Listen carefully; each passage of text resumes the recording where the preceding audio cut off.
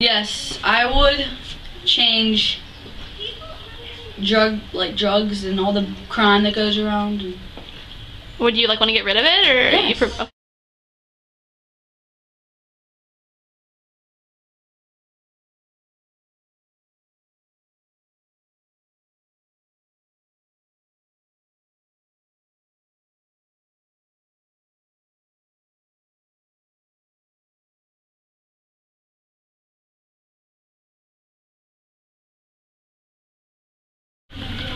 The bad stuff in the world.